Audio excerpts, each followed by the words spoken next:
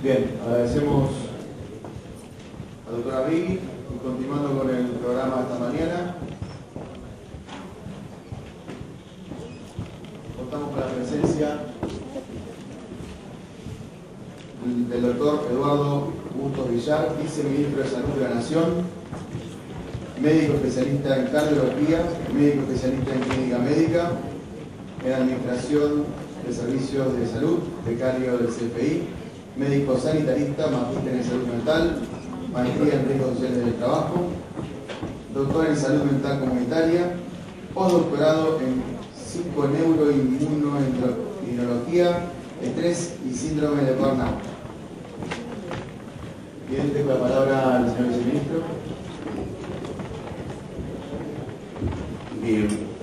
buenos días a todos. Perdón, un segundo nada más. Eh, les pido, esta conferencia es previa, disculpen, eh, al break, lo tenemos después de la conferencia, veo que algunos están levantando, el break no es ahora, es después de la conferencia. Eh, perdón por la interrupción, pero bueno, gracias. Está bien. Bien, bueno, um, quiero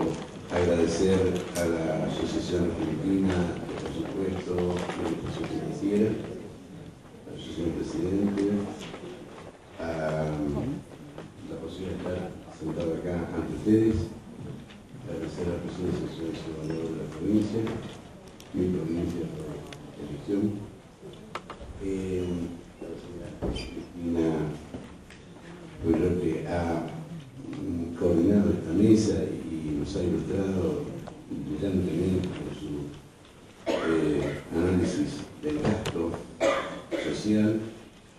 y me ha dejado preocupado mi amigo Walter Rodríguez, no sé si irme a Paraguay o a Chile, con el porcentaje de sustitución en los dos años y medio que tenemos en el Fondo de Garantía de Sustentabilidad, eh, te voy a seguir trabajando. Eh, gracias, porque excelente la presentación de Walter, creo que a todos y quizás nos ha dejado pensando, pero bueno, esta es la realidad de la seguridad social argentina, pero también la, la eh, problemática de la seguridad social en el mundo. Y nosotros todavía tenemos algo a favor cuando veíamos las cifras de Estados Unidos, donde hay una población, contamos con Cristina, envejecida, frente a una eh, Argentina donde todavía tenemos eh, casi un 40% de la informalidad que podría mejorar los indicadores de eh, aportantes en relación con los pasivos. Y esto, bueno, esto es para generar una cuota de esperanza y no de desazón después de esta cifra que nos ha dado Walter, eh, y esto que nos olvidamos con el menor, la caja que, menor, que menos paga, bueno, pero bueno, esta es la realidad, pero también la esperanza. Y un Estado, un gobierno, que cuando veíamos cómo se modificó el gasto social, cómo eh, se ha trabajado desde el concepto de la inclusión social, fortaleciendo a los sectores más vulnerables, aquellos que habían quedado marginados eh, en la política de los 90 de la posibilidad de jubilarse con una moratoria eh, de jubilación anticipada, con una reasignación y un cambio de paradigma de manejo del gasto. Y aquello siempre planteo cuando hablamos de gasto, el concepto de gasto o inversión. Eh, y esto también porque queremos poner una cuota de esperanza. Yo digo que eh, en salud eh, nosotros en principio, según el concepto, gastamos. Y yo digo que invertimos. ¿Y gastamos cuando gastamos? Cuando invertimos mal. Es decir, cuando no usamos adecuada, eficiente y eficientemente en relación costo-efectividad de los recursos asignados a un programa, a una política de salud,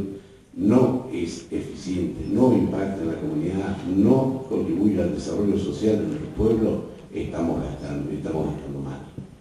Mientras que cuando lo gastamos y tenemos impacto, yo digo estamos invirtiendo muy bien los recursos que el Estado o el Tesoro nos aporta para cambiar la vida y la calidad, la calidad de vida de los argentinos. Vamos a conversar un poquito de otros temas distintos, no sé si comprensibles, pero vamos a tocar ¿Te plantea?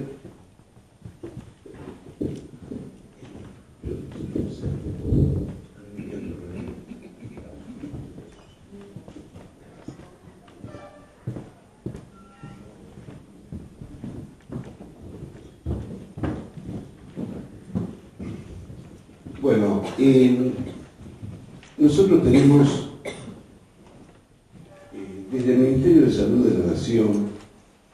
tenemos que referir y tenemos que poner blanco sobre negro una situación, y es que Argentina es un federal, y como país federal, donde hay muchos, donde hay muchos eh, muchas funciones que han sido delegadas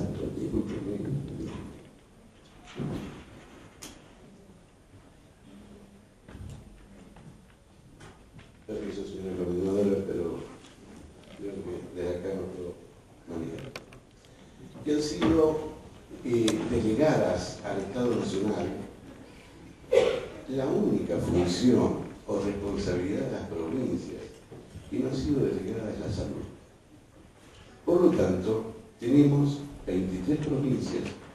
y una ciudad de Buenos Aires, 24 jurisdicciones,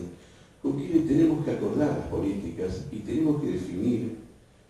qué es, es decir, cómo trabajamos desde el consenso para lograr que podamos cumplir con el objetivo de trabajar o mejorar o implementar políticas, programas o planes de salud en el, territorio nacional. Por ello es que nosotros decimos que la nación tiene el rol de rectoría, que tiene la responsabilidad de conducir y coordinar el sistema público de salud. Y que las provincias tienen la responsabilidad de la gestión, de la implementación, de bajar al territorio y a los espacios locales las políticas públicas que se diseñan eh, desde el Ministerio de Salud de la Nación en sus líneas de acción, en sus líneas principales, que fundamentalmente se consensúan a partir del Consejo Federal de Salud, que lo constituyen todas las eh, jurisdicciones y que validan las decisiones que se toman en el ámbito del Ministerio de Salud de la Nación a lo cual también convengamos que pueden adherir o no, pero que en general hemos logrado trabajar desde el consenso y esto es también paradigmático en el sentido de que la participación de, los intendentes en la construcción de las políticas públicas, de los espacios locales, articulando nación, provincia y municipio con la comunidad. Y la comunidad con el municipio. Y el municipio con la provincia y este con la nación, nos ha permitido nosotros también comenzar a transitar un verdadero cambio de paradigma, que es el trabajo desde el consenso y desde la participación, empoderando también a las comunidades en aquello de ser protagonista del cambio de su propia realidad del medio o el espacio local. La salud en la Argentina tiene características especiales, está descentralizada, como decíamos recién, segmentado, pero tiene también, es verdad, es un sistema universal, gratuito y de acceso para todos los habitantes del pueblo argentino y aquellos migrantes que no lo son, pero que están en el país argentino, de modo tal que la salud pública es gratuita para todo el que habita el suelo argentino. Que esto no sucede en la mayoría de los países del mundo ventajas y desventajas. Tenemos sistemas también en esta fragmentación, en esta segmentación de obras sociales nacionales, tenemos el PAM, las obras sociales provinciales, del Poder Judicial, del Poder Legislativo, de la Policía Federal, de Gendarmería, de Ejército, de Mar, de Fuerza Aérea, de obras sociales universitarias, un poco como pensaba y refería recién el doctor Abril cuando nos hablaba de todos los sistemas previsionales que de alguna manera tienden a protegerse o a preservar algunas situaciones para evitar algunas cuestiones que pueden ser por allí no demasiado equitativas, pero que el régimen tradicional argentino es un régimen de reparto y solidario, de modo tal de que esto es lo que nos debe unificar más allá de cuáles son las aspiraciones personales. El sistema de salud decíamos, que está conformado por una serie de subsectores. la salud pública que eh, está financiada con rentas del Tesoro Nacional tiene el 37% del universo del país, mientras que el subsector privado tiene el 8%. Que las obras sociales nacionales tienen el 34%, y si tomamos obras sociales nacionales, cuya superintendencia de servicios de salud está, depende del Ministerio de Salud de la Nación, deberíamos decir que el 71% de la, de la seguridad en salud está bajo, de alguna manera, bajo la rectoría real y concreta del Ministerio de Salud. Que las obras sociales provinciales cubren al 12% del universo de los 40 millones de argentinos y que el PAMI cubre el 9%.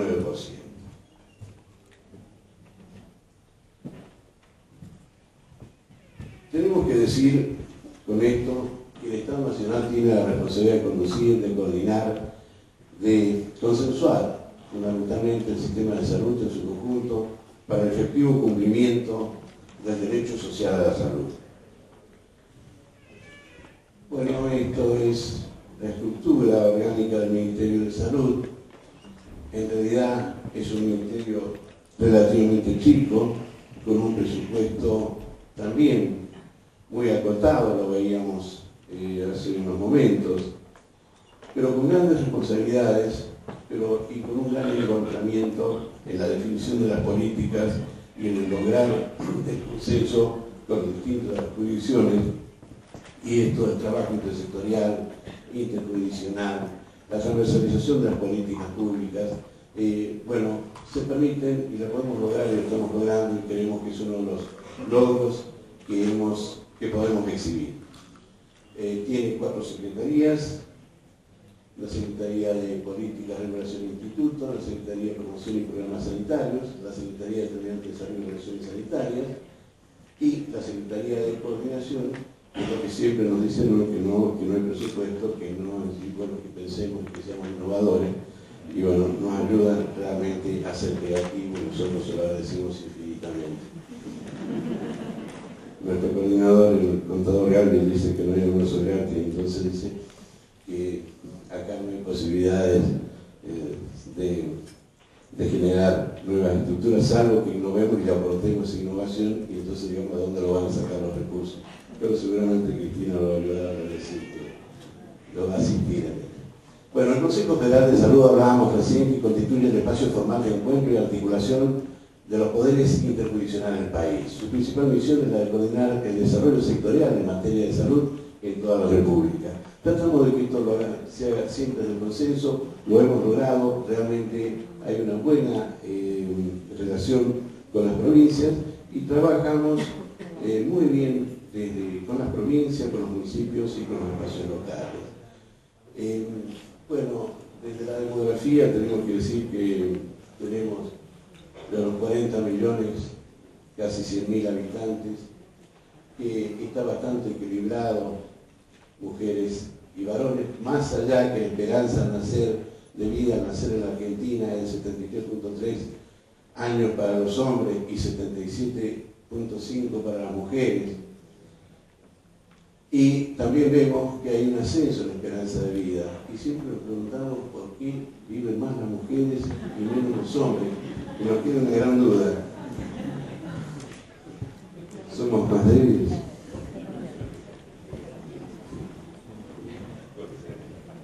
Porque no viven las mujeres. bueno, yo no, no, no quise avanzar.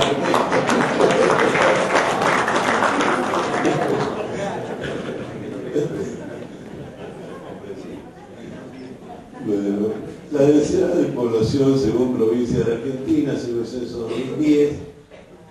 no nos todos, los niveles de pobreza, se ha hablado acá, de la situación que viven las distintas regiones del país. Vemos que Patagonia, Patagonia tiene los mejores indicadores.